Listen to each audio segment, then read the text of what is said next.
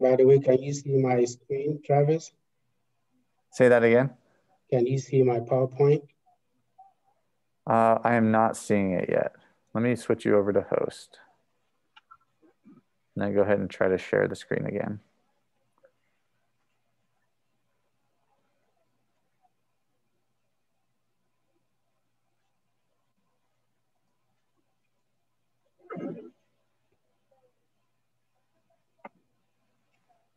There we go.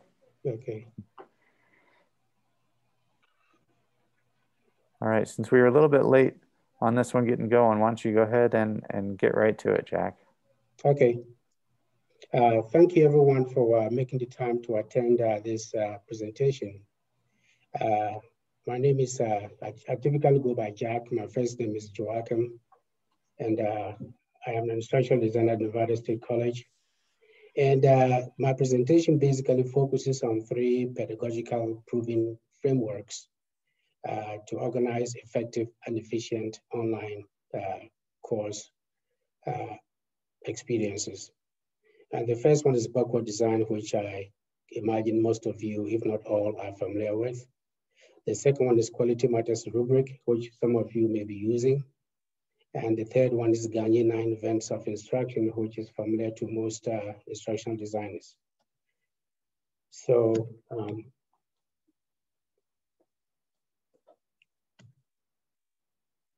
do you see my advancement? No, we can't. Is it advancing? Uh, no, it's not. Okay, uh, let me stop my screen and because I have uh, three screens and that might be the problem.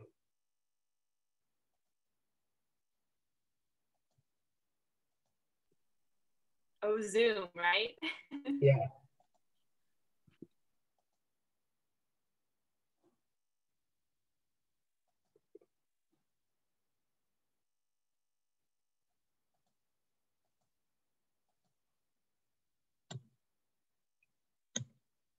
So is it advancing? No, we're not seeing it. No. I saw it.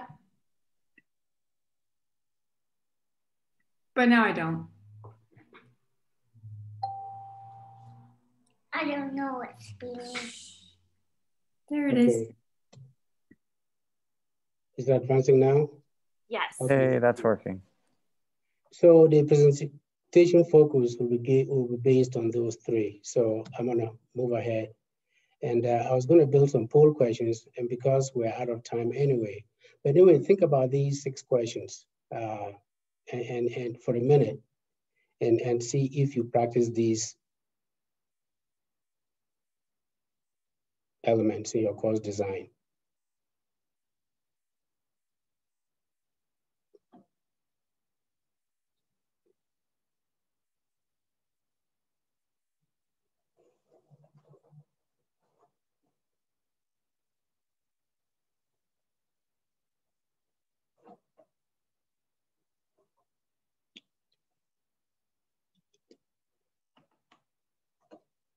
So, and the reason for this is that, you know, you want to make sure that you, you know, you align your learning objectives and assessments before you develop your course content. Uh, secondly, that you intentionally embed assessments in your learning content, be it videos, text, or PowerPoints, uh, so that students can self-assess as they progress. And the third part is that, you know, you explore and gather evidence about student learning from your assessment outcomes so that that will guide your instruction as well, because those become diagnostic tools for you to improve your instruction as well, uh, apart from assessing the learner. And then of course, we'll look into, do you, you know, how many of you are implementing backward design, uh, quality matters, and the nine events? So is it advancing? I think we should be good going forward. So do you guys see uh, this statement from Gagne? Yeah, we can see it. So I'll let you read this for a moment.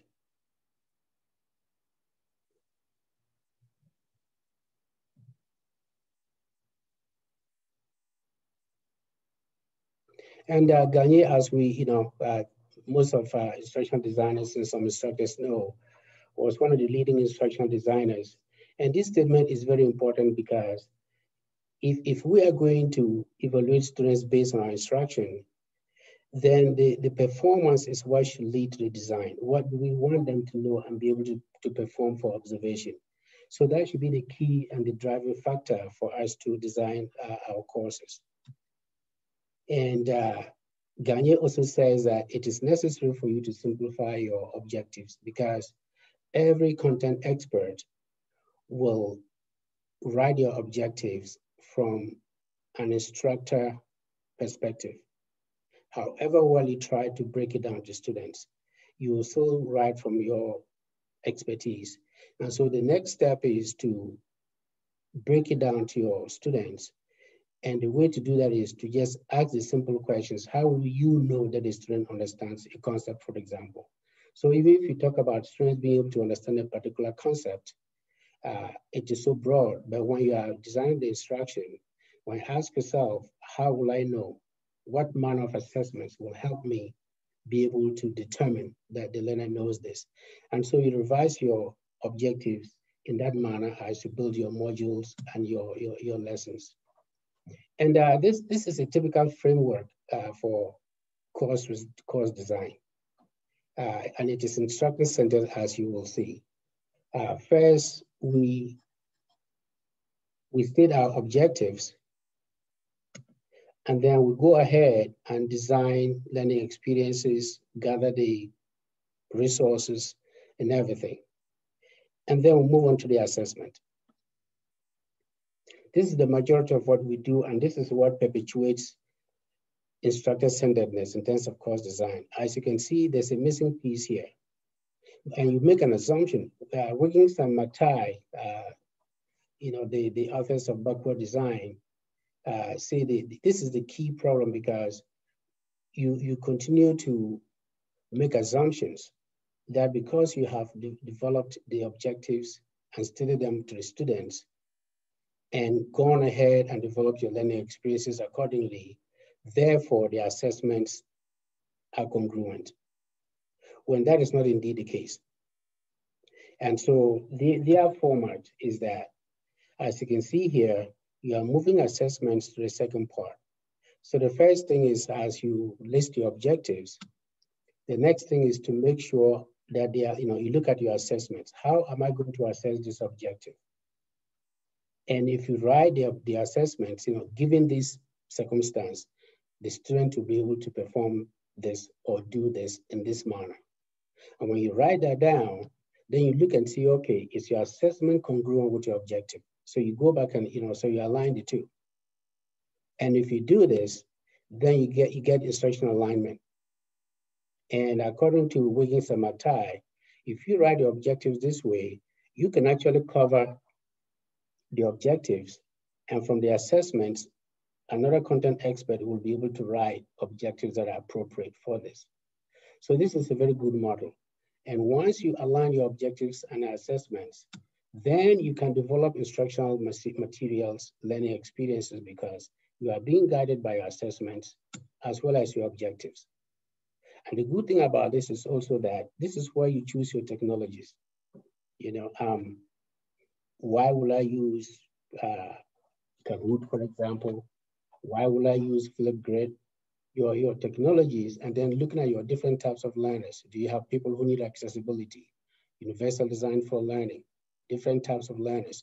Then you are better able to address those over here, being guided by both your objectives and your assessments. And so the backward design model really is a very good way to begin with instructional alignment.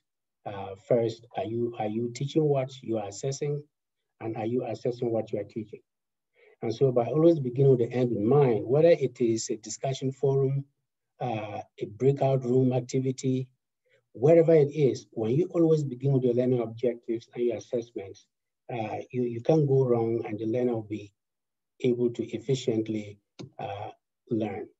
And so the question is, uh, always be, it's a recursive process and very reliable as uh, I'll go through and prove that you begin the learning objectives each time Next, you go to the assessments. How are you going to assess the objective before you do anything about learning experiences? So I will stop here and see if, you, you know, if, are there any questions, uh, Travis?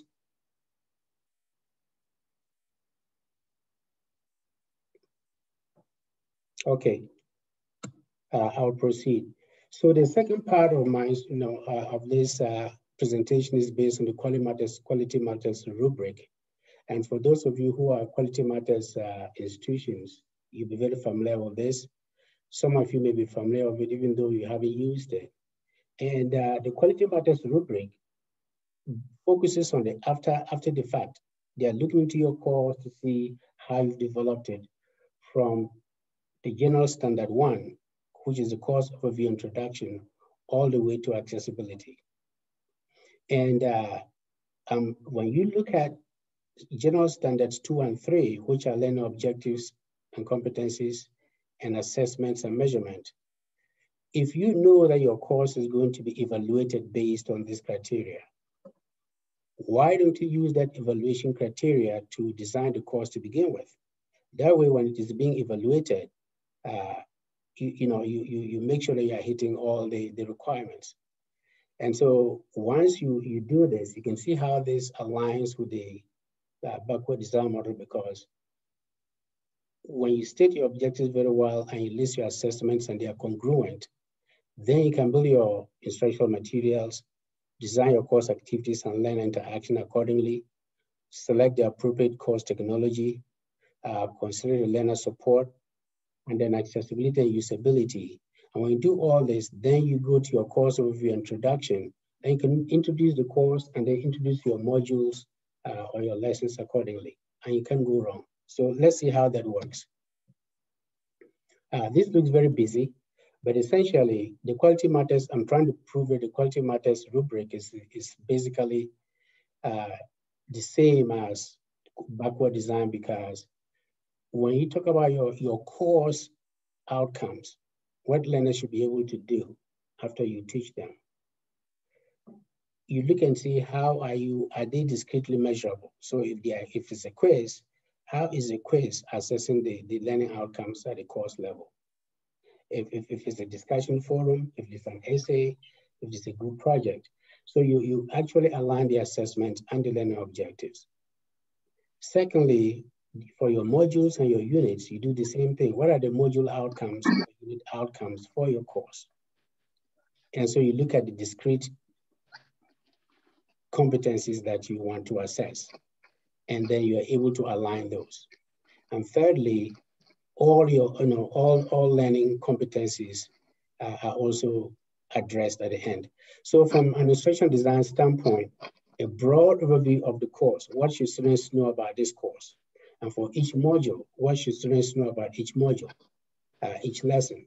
And then all the way to the end when you complete. This kind of gives you a very good framework to introduce the course, ask good questions for the students as they progress, and then have a conclusion at the end of each module by asking students what isn't clear, what did you like about this, what was not clear, what questions did you have, where did you struggle? And so by having this type of framework, you are better able to meet the needs of learners and improve your own instructional practice as well. And so as a process, uh, just to reiterate, backward design guides you to focus on what it is that learners should be learning, uh, what it is that, how can they demonstrate that learning that you want, and, and, and how will you assess it? Quality Matters has the same thing if you look at the quality standards uh, two and three that the learning objectives and competencies need to be written from a learner's perspective and that your, your assessment and measurement has really be assessing what you're teaching, which then leads to the nine events of Gagne, which I will you know, talk about. So again, uh, a, a, very reliable recursive process. And uh, very soon we'll break into teams so that you guys can kind of discuss this and we'll come back and see how you make sense of this. So after you do your backward design and you align your objectives with your assessments with backward design or with a quality matters rubric, Then when you go to present to your learner, whether it is synchronous or asynchronous, for each module, you are able to begin with gain the learner's attention. How will you gain the learner's attention? If it's synchronous, you might want to ask a question. What will you do after COVID? And as you know, students are behind their you know, avatars. So this is how you get students to respond. And you let them know in advance that I'm going to be asking students to, ask, to, ask, to answer questions. I'm not, I'm not picking on you. Everybody has something to bring, and this is how I'm going to encourage you and help you contribute to the learning process as a community of learners.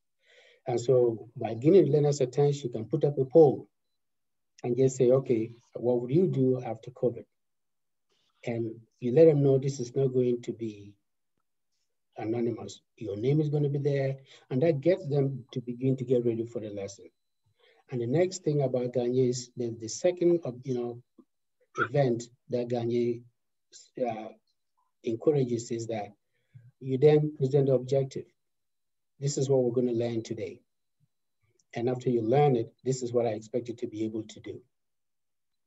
And then the third part is prior learning. Uh, how is this learning related to anything you've covered before or And this is good because when we talk about universal design for learning or meeting the needs of different types of learners, you, you know, for example, if you're teaching a course where some students are taking it as a major and other students are taking it as an elective, uh, you, you are better prepared to meet the needs of those different tasks because some will probably come in with prior knowledge and others will not. But you want to build a bridge so that at the end of your presentation, everybody walks away being about the same level. And then the fourth event of Gagne is to present the information. And then, you know, number five is you, you guide the learners, uh, scaffolding, make sure that they understand. And then you elicit performance. So if, if you are teaching synchronously, you, you know, from an instruction design standpoint, we advise that if you speak for more than five, seven minutes without asking a question, chances are you've lost about half of your students. So you elicit performance by asking questions, fly by as you teach. If it is a video students have to watch, you want to make sure you stop around seven minutes, five to seven minutes and ask a question for them to ponder take a quiz or something, self-assess before they continue. Uh, you know, just give learners the opportunity to self-assess, whether it is synchronous or asynchronous. And then uh, number seven, you provide feedback. You know, look, you know, how, how, you know, guiding them to understand how this might work uh, in, in, in, you know, in terms of learning gaps, what do they know uh, from prodding so that you can you can better help them learn you know learn well. And then uh, you provide feedback because that is where you you have you affirm what they've got they've gotten right, and then you fill in learning gaps. And then again, you you assess the performance again uh, by by you know letting them understand how they can remember this information by enhancing retention which is number nine. And, and so Gagne's nine events for instruction works for online learning as well as face-to-face. -face. Uh, and as you can see in the different colors here, the first three are introduction. So when you're going to teach synchronous, how are you going to introduce the topic before even present it? And in your presentation, what types of activities, what order are you going to present the information? And then how will learners be able to interact with the information for you to give them feedback? So I encourage you to look into these uh, nine events if you haven't been using them. Uh, you could actually use this tomorrow if you are teaching, just simply by gathering and understanding that this is what I want learners to know after I finish teaching. This is how I'm going to present the information. This is how I'm going to check for understanding. And this is how I'm going to assess them. So again, uh, you know, learning processes. So what I'm going to do now is I'm going to, you know, we're going to create uh, breakout rooms. Uh, Travis? He stepped away. Can I answer a question for you? Oh, yeah, okay. Uh, so we have about 30 people. So let's see if we can create about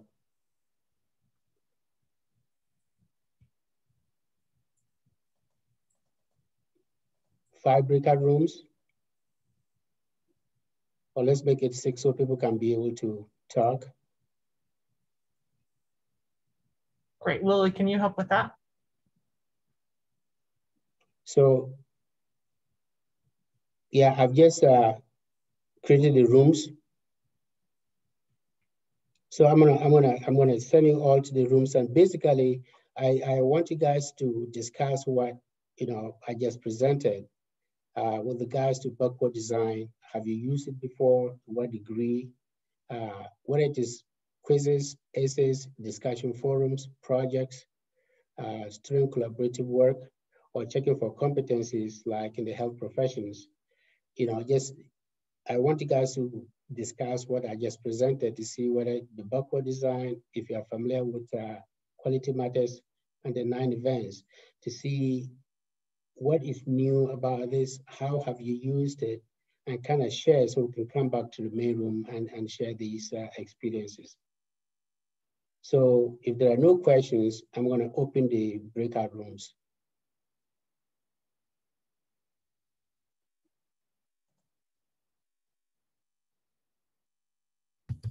How long will we have in the breakout room?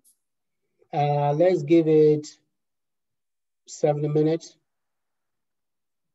Five, you know, five, about five to five, six minutes.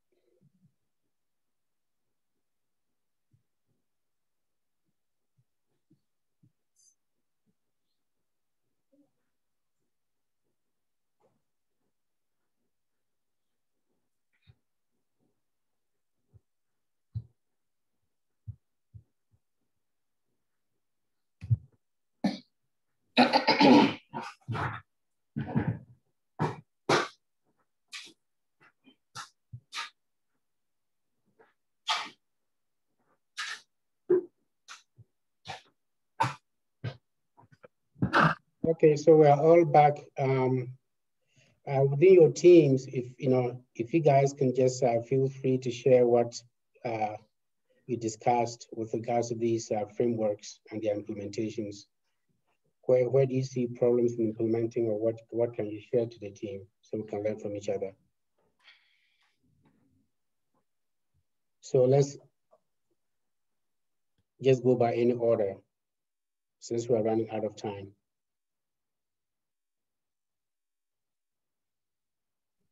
I can't remember which group we were in, but our group actually spent a lot of time talking about breakout rooms and having cameras on and how to encourage that, incentivize it. And so, um, as so we talked about like using backgrounds or ha having students um, potentially getting extra credit if they're willing to, you know, have a certain percentage of the class have their their cameras on, then the whole class can earn some extra credit. But ways of building community in our new Zoom reality is kind of where we went with our group.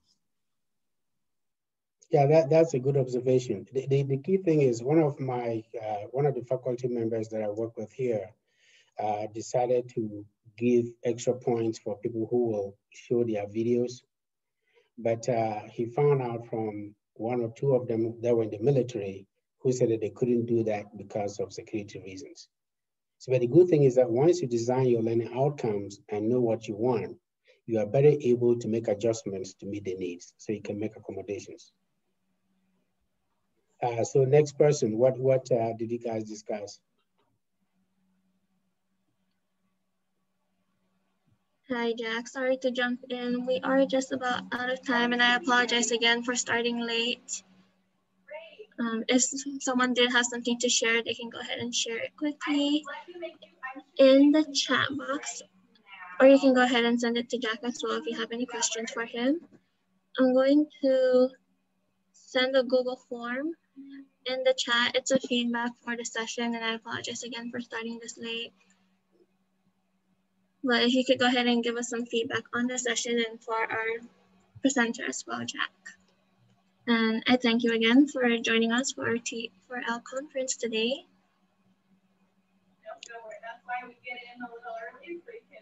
So thank you uh, for making the time to attend and uh, send me email about, you know, what, what you think as, you know, we, we can continue this conversation uh, after the conference. So thanks again for making the time. Uh, sorry about the time constraints. These things happen, but at least I was, I, am glad I had a chance to kind of go through the three frame, frameworks quickly. Uh, so have a great day. Enjoy the rest of the conference and I hope to meet uh, some of you. Thank you. Thank you. Thank you. Thank you.